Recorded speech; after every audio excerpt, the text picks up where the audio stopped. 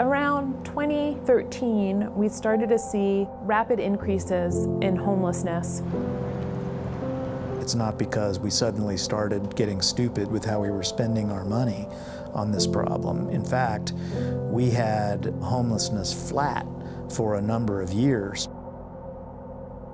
But then, just as we felt like we were starting to turn a corner, the economy caught fire and rents went through the roof. All the old cheap rents on the private market went away. And so people kind of at the bottom of the economic ladder, they were no longer able to scrape it together.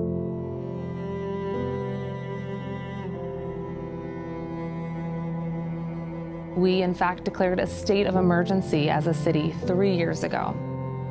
The crisis is truly a public health crisis for the folks who are living outside, for the community at large. It is bad for the health of the city. It's bad for our psyche. It's bad for everyone. It's hell. I cannot describe it.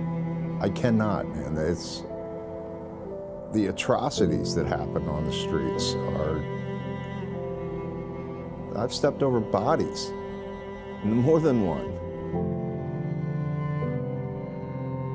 There's a variety of studies that show that it costs anywhere from 50,000 to $100,000 or more per year per person just because of the expensive passive public costs that are associated with managing their homelessness through emergency responders and law enforcement and the court system compared to $16 to $22,000 a year to provide that person with permanent supportive housing.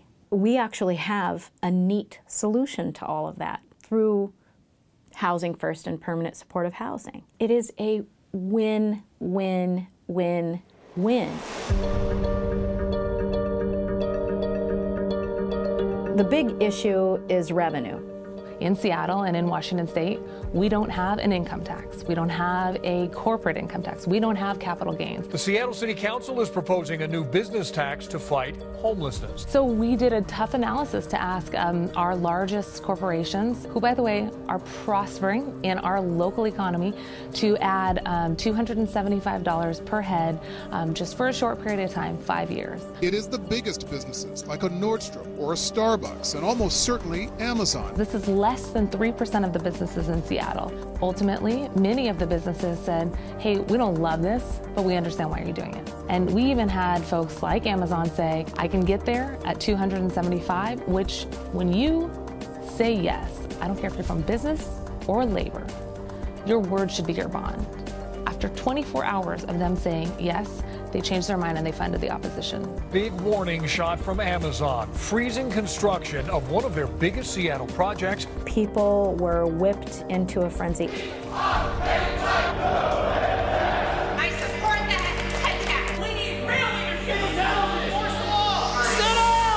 Ultimately, the pressure was put on City Council to have a repeal vote. That put businesses in the position where now that they've shot down the head tax, they need to answer.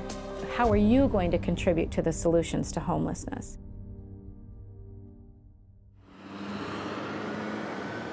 During this time, I was invited to come and talk on a number of what I would call very conservative outlets. And there was one individual who kept nodding his head, and he contacted me afterward and said, I, I want to I want to work with you on solving chronic homelessness. How do we do this? And so we hatched the Third Door Coalition. Everyone who comes and talks to me says, it's amazing that you have this disparate group of people sitting together and talking, and there's a hunger for people, people want to be part of that. The Third Door Coalition is, it's about bringing unlikely allies together.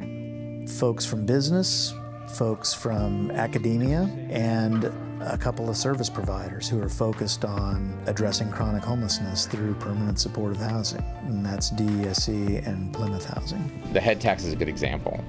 I mean, there were business leaders, and Howard was was very vocal about no head tax.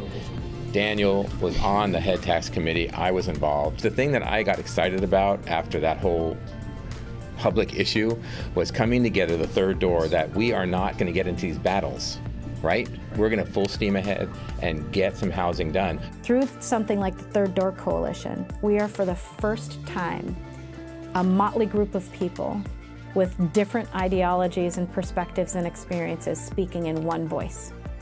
And that makes us all more powerful. Why don't we go get 50 companies, a million each, 250 over five years. We go to the state, said you've got a mental health funding issue, 250, we get 150 city, 150 county. And oh, by the way, you have some laws to change and some zoning, and all that has to happen together. Then that answers what, what is business going to do? Business. Here's an answer, right? And this is the big numbers, and then there's all sorts of other stuff. But it's huge. That's fantastic.